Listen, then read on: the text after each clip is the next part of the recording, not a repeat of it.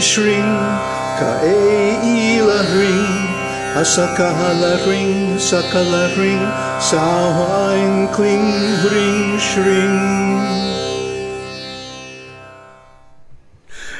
Namaste. so we're just sitting here being silly and um, getting ready to read the next installment of Mahanirvana Tantra. And so far, Parvati is still leading up to her big question.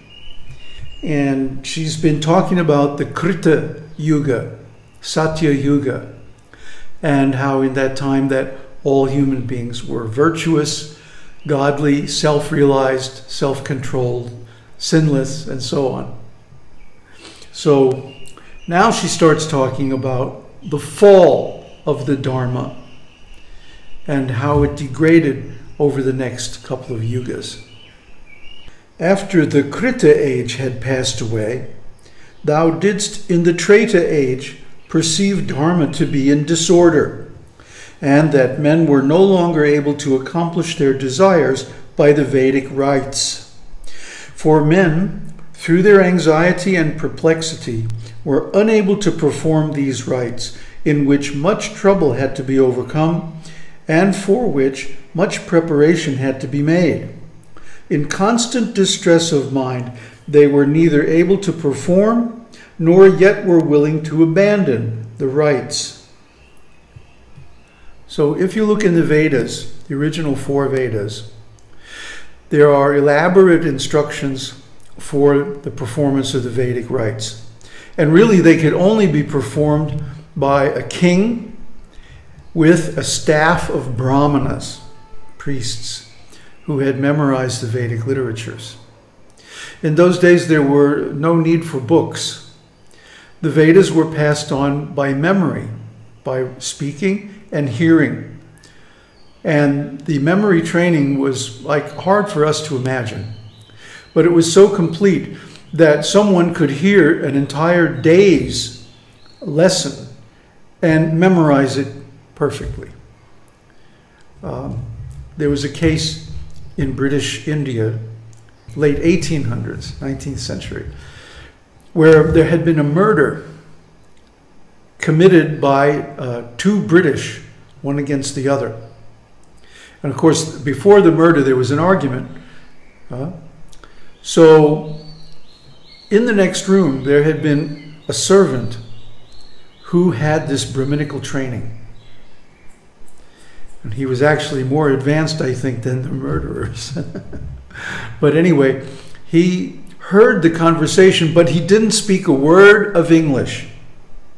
Huh? So at the trial, the judge asked for his testimony. And he repeated the conversation two men had had just before the murder in English without understanding it at all. How is that? because the Brahminical training works by sound vibration. One can memorize any sequence of sounds. I had a little bit of a glimpse of this when I was in conservatory and we were doing solfege training, in which the instructor would sing or play a phrase of music, and then we would have to either repeat it or write it down. So this was the same kind of training where we memorized a sequence of sounds and their interrelations, musical intervals, and so on. And uh, so it's possible. It's possible that someone could remember and write down even a conversation years afterwards. And that's how the Vedas were passed down. But as the yugas progressed, it became less and less possible for people to do this.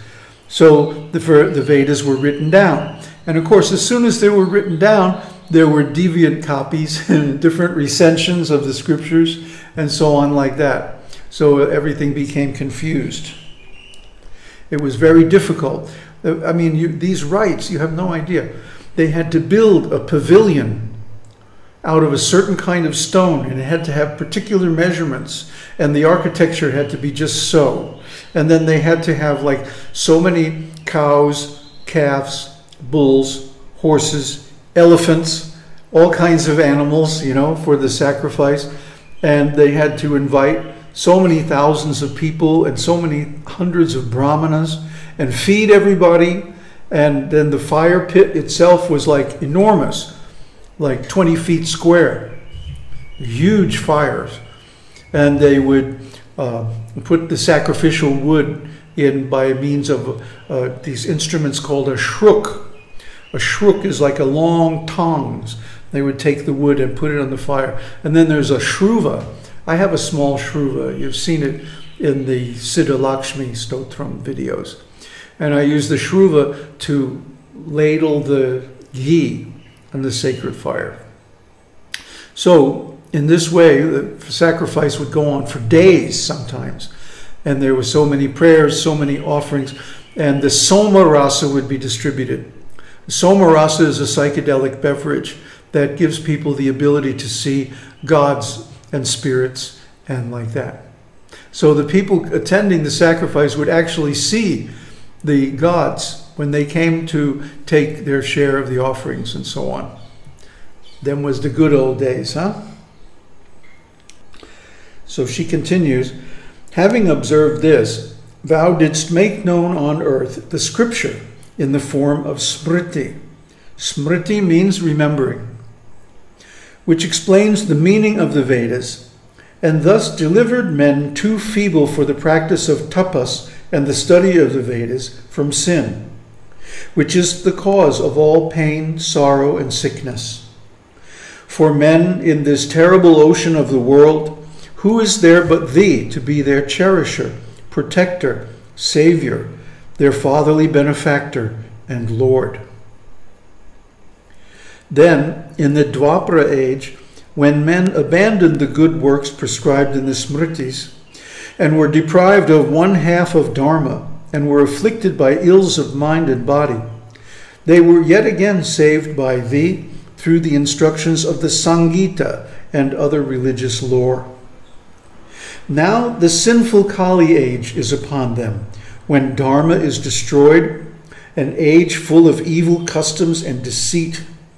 Men pursue evil ways.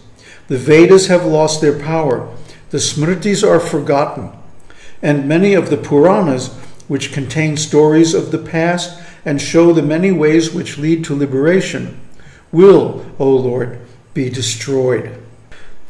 So now she's talking about the degradation of the Vedic civilization in the age of Kali. And of course, anyone who uh, comes to India can see this. Even Indians themselves know it, but they're powerless to stop it. Why? This is something that's ordained by God, by higher powers, by the laws of nature as they have come down to us. So there really isn't anything we can do about it as a society or as, as a human race. But as individuals, we can overcome the influence of Kali by following the instructions that are given in the Mahanirvana Tantra. Men will become averse to religious rites without restraint, maddened with pride, ever given over to sinful acts, lustful, gluttonous, cruel, heartless, harsh of speech, deceitful, short lived, poverty stricken, harassed by sickness and sorrow, ugly, feeble, low, stupid, mean, and addicted to mean habits companions of the base, thievish, calumnious, malicious, quarrelsome, depraved, cowards, and ever ailing, devoid of all sense of shame and sin and of fear to seduce the wives of others. Vipras or Brahmanas will live like Shudras, and while neglecting their own sandhya, will yet officiate at the sacrifices of the low. They will be greedy, given over to wicked and sinful acts, liars, insolent, ignorant, deceitful, mere hangers on of others, the sellers of their daughters, degraded, averse to all tapas and vrata. They will be heretics, impostors, and think themselves wise. They will be without faith or devotion, and will do japa and puja with no other end than to dupe the people. They will eat unclean food and follow evil customs. They will serve and eat the food of the Shudras and lust after low women, and will be wicked and ready to barter for money even their own wives. In short, the only sign that they are brahmanas will be the thread they wear. Observing no rule in eating or drinking or in other matters, scoffing at the Dharma scriptures, no thought of pious speech ever so much as entering their minds, they will be but bent upon the injury of the good. Ooh wee! she lays it on pretty thick. Hey, but just look at the news every day. Huh? Even the leaders of nations have these qualities. So, what to speak of the ordinary people? You know, whatever the leaders of society do and however they comport themselves, then the common men will follow in their example. And certainly they have. By thee also have been composed for the good and liberation of men the tantras, the mass of agamas and nigamas, which bestow both enjoyment and liberation containing mantras and yantras and rules as to the sadhana of both devis and devas. By thee, too, have been described many forms of nyasa, such as those called shrishti, sthiti, and sanghara. By thee, again, have been described the various seated positions of yoga, such as that of the bound and loosened lotus, the pashu, vira, and divya classes of men, as also the Devata, who gives success in the use of each of the mantras. And yet again, it is thou who hast made known in a thousand ways rites relating to the worship with woman, and the rites which are done in the use, sorry, with the use of skulls, a corpse, or when seated on the funeral pyre. By thee too have been forbidden both Pashu Bhava and Divya Bhava, if in this age the Pashu Bhava cannot exist, how can there be Divya Bhava? For the Pashu must collect leaves, flowers, fruits, and water with his own hand, and should not look at a Shudra or even think of a woman. So she's talking now about the different Vedic rites that are given in the Tantras. Many of these rites are no longer suitable because human beings do not have the qualifications to perform them. So a pashu means an animal, an animalistic human being.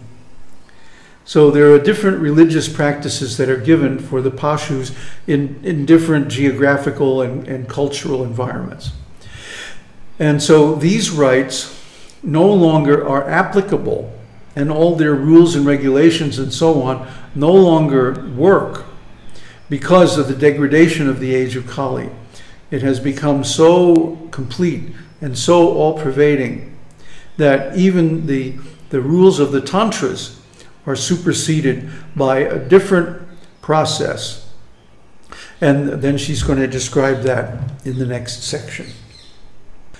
On the other hand, the Divya is all but a Deva, ever pure of heart, and to whom all opposites are alike free from attachment to worldly things, the same to all creatures, and forgiving. How can men, with the taint of this age upon them, who are ever of restless mind, prone to sleep and sloth, attain to purity of disposition? By thee, too, have been spoken the rites of Vira Sadhana, relating to the Panchatattva, namely wine, meat, fish, parched grain, and sexual union of man and woman. The Maithuna, the Tantra Maithuna, or the Kama Sutra path. This sadhana has been given for the age of Kali in the Tantras. Why? Because nobody can practice Nobody can practice the other rules and regulations. Everybody's eating meat and fish and stuff anyway. So, by very cleverly making it into a religious ritual, then these activities, although in a previous age they would lead to going to hell, become actually a path for liberation for the lowest of mankind, the Pashubhava. The, the Divya Bhava, the, the people who are enlightened, don't need any rites. They don't need any rules and regulations uh, because they're harmless. They hold no anger, they, they cast no blame. And their purpose is for the benefit of all living entities. But for those who are not on this platform of purity, some religious rites are needed. So let's take the things that they're going to do anyway and make them into a religious practice. But since the men of the Kali age are full of greed, lust, and gluttony, they will on that account neglect the sadhana and will fall into sin. And having drunk much wine for the sake of the pleasure of the senses, will become mad with intoxication and bereft of all notion of right and wrong. Some will violate the wives of others Others will become rogues, and some, in the indiscriminating rage of lust, will go with any woman, whoever she be. Overeating and drinking will disease many and deprive them of strength and sense. Disordered by madness, they will meet death, falling into lakes, pits, or in impenetrable forests, or from hills or housetops. While some will be mute as corpses, others will be forever on the chatter. And yet others will quarrel with their kinsmen and elders. They will be evildoers, cruel, and the destroyers of Dharma.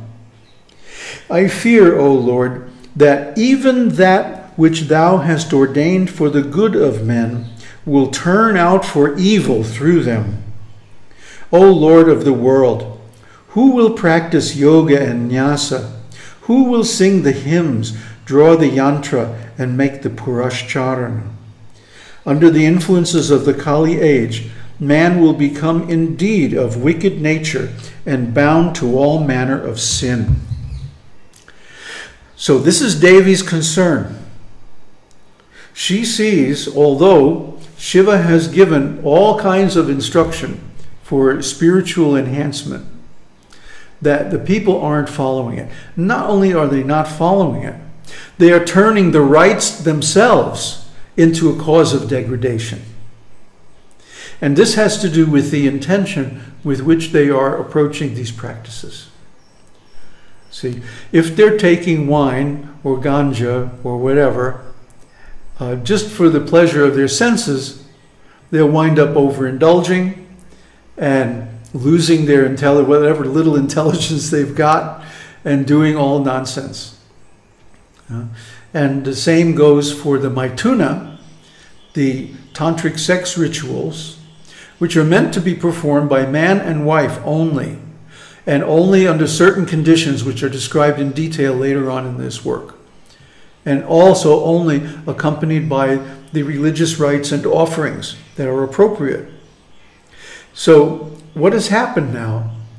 Tantra, so called, as it's practiced in the West, has become just about sex. And the spiritual side, the religious side, that gives good karma, that turns it into a sacrament, has been lost. And this is the fault of the sensationalist authors who introduced Tantra to the West, uh, like Morrison and people like that who positioned it or portrayed it as only a sexual practice and, and just cut off all the religious part of it. So, because of this misrepresentation, the practice has become completely perverted and divorced from its original source. So, we are going to try to bring it back and show how Tantra should be performed in the Kali Yuga. Om Tat Sat. Buddhu Saranai.